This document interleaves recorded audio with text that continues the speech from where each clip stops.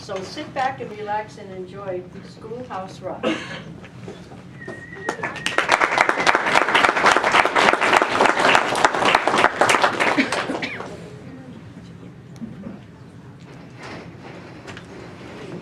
Good morning, class. I'm your new teacher, Mr. Miser. No, that'll never do. I don't know why I'm so nervous. I mean, I mean, I have a degree. I love children. There's no reason why I wouldn't be a great teacher. They're gonna laugh at me. I hope they don't think I'm goofy. I'll be fine. They're only eight-year-olds. I remember what it was like to be an eight-year-old, I think. Those little monsters are gonna eat me alive. I got up early. I have plenty of time. I'll just look over my lesson plan. Oh, it's too early. I wish I could just go back to bed. I'm not a morning person. maybe if I just watch some TV, I'll be able to relax. Was bigger, your mind was slower. It's great to live cause knowledge is power. Your schoolhouse rocking, a chipmunk the block of your favorite schoolhouse, schoolhouse rock. Hey, I didn't know these Schoolhouse Rock things were still on. I guess I have a little time to watch. Hey, well, welcome to Schoolhouse Rock! Live! Where this is the schoolhouse and you are rocking it! Who are you and what are you doing in my rec room? We are you, Tom! That's enough TV for one morning. I'm going crazy. No, no, don't turn off the TV. Leave the TV on, please. You want the TV? Take the TV. The TV's yours. Just leave me alone. Relax, Tom. We're just different parts of you. We're all the ideas in your head. And not just us, Tom. Do you realize how many ideas you have in your head? Just look around you. Hello, Tom. Okay, guys. I normally enjoy a good morning hallucination, but I need to get ready to teach my first day of classes today, so I'd love it if you'd all just scoot. Tom, we know today is your first day of teaching. That's why we're here. We are here to help you, right? Right! What would really help is if I look over my lesson plan. It's going to be tough enough already. Tom, it's not going to be tough. It's going to be easy. Why, when we get through with you, it'll be as easy as.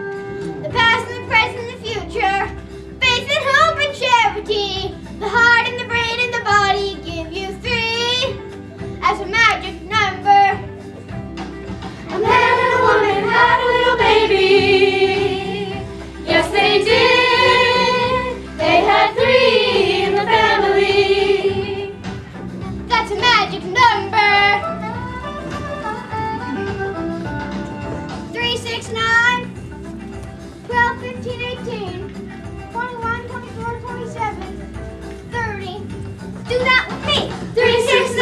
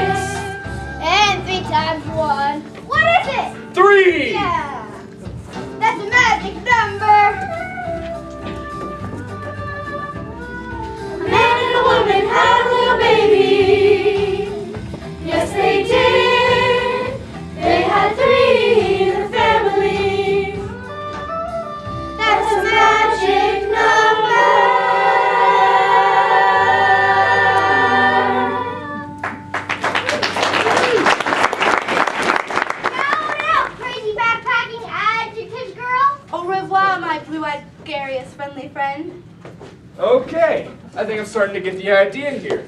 I can teach a little grammar if I use a little imagination. Right. But I'm not going to just be teaching grammar.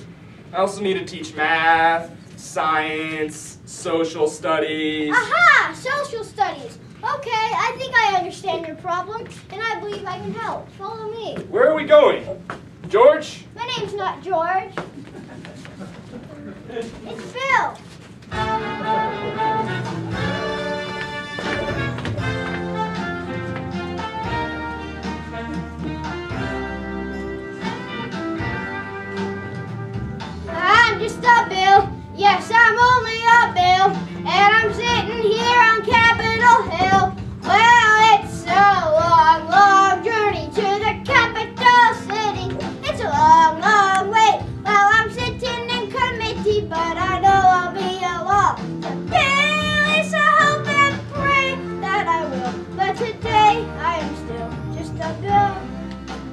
Gee, Bill, you certainly have a lot of patience and courage. Yeah, when I started, I wasn't even a bill. I was just an idea.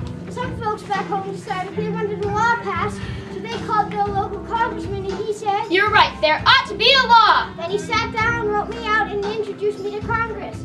And I became a bill. And I remain a bill until they decide to make me a law.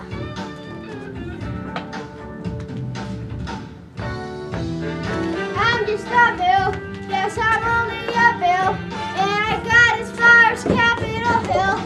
Well, now I'm stuck in committee, and I'll sit here and wait. While a few key congressmen discuss and debate whether they should let me be a law. Well, I hope and pray that I will. But today, I am still just a bill. Listen to all those congressmen arguing.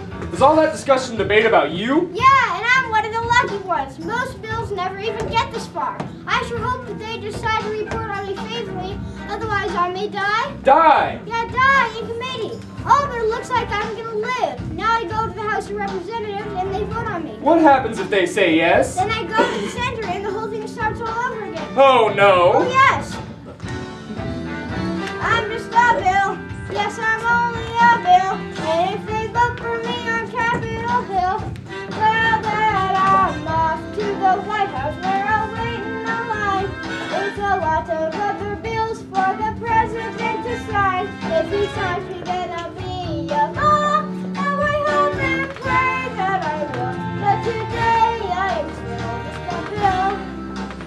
You mean even if the whole Congress says you should be a law, the president can still say no? Yes, that's called a Veto! President Vetoes!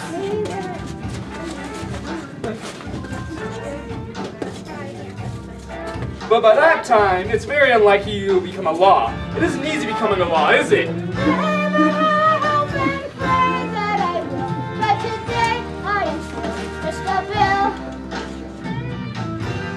He bill. Now you're a law. Yeah!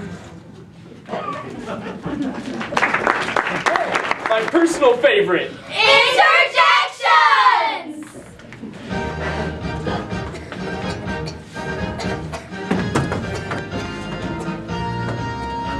When Reginald was home with the flu,